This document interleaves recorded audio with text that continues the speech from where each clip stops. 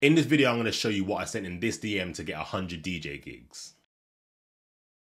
Back in November 2018, like many of you, I was a beginner DJ. I used to get in every day from work, turn on my decks and practice, to the point that I got really good and wondered why I wasn't getting any DJ gigs. I looked at other DJ Instagram stories, listened to their mixes, and I thought I'm a lot better than these guys. But the honest truth about it was I just wasn't putting myself out there enough. I was putting out content on socials, but they were not getting enough likes and shares, so they wasn't getting out to the correct people. So I thought this had to change because I've had enough. Now, when I first started, I was sending random DMs to big clubs asking if they required a DJ. And the messages would look something like this.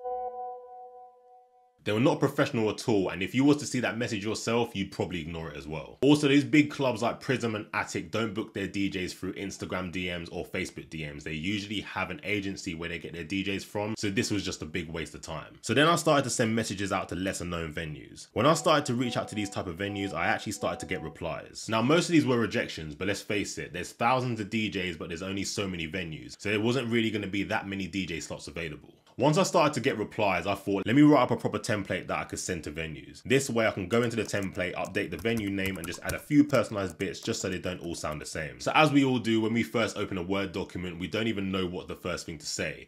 Do we say hi, hey, what's up, yo? But as we're being professional, we're gonna get rid of the yo and the what's ups, and I just went with a simple hey. The next thing I needed to do is tell them exactly what I wanted. I'm just inquiring about a DJ slot in your bar or club. Then I put in what kind of DJ I was. I'm a multi-genre DJ looking for a new weekly slot, and I was just wondering if you have any spaces available. For more of a chance of getting bookings, I put down that I'm a multi-genre DJ. Venues like a DJ that can play anything. So me saying I'm a multi-genre DJ gave me more chance of getting these DJ gigs. Also, the part where I said I'm looking for a weekly slot. I didn't say a specific day in the message because that could possibly limit me from getting DJ gigs. Already in them two sentences, I've said what I wanted and what kind of DJ I am. Now it was time to give them some extra bits to give me more chance of getting these DJ gigs. I have a lot of experience as I've played in several bars and clubs. So once I said this, I needed to back this up with the next two lines. Here is my Mixcloud with a selection of some mixes, and here is a link to my Instagram account. Now from previous experience, if you don't add your Mixcloud or your Instagram, they're probably gonna ask for it anyway. So it's better off to just give them the information in the first message you send. With a Mixcloud or SoundCloud, they can listen to your mixes online, they can see what kind of music you play, and they can also find out if you can mix or not. I made sure I had loads of mixes they could choose from, so before creating this template, I created three mixes a week for several weeks to build a backlog. And with Instagram, I knew after me saying I had a lot of experience as I've played in several bars and clubs, I had to back this up just in case they check my Instagram profile. So one tip I'll give to all DJs,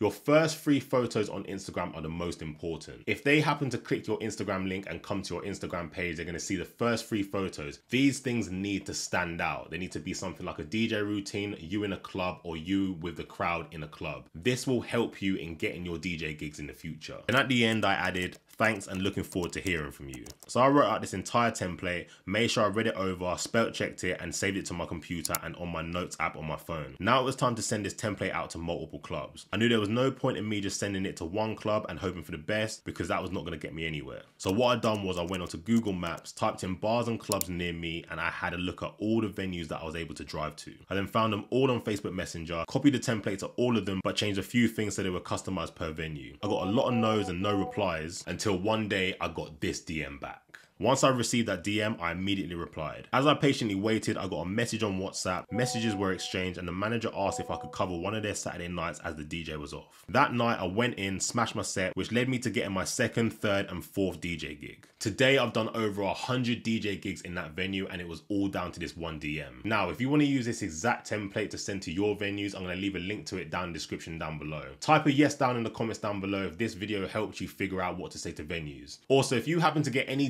Gigs by using this template, let me know on Instagram. I'd love to know. Now that you've watched this video, check this video out here where I tell you how to get even more DJ gigs. I'll catch you in the next video.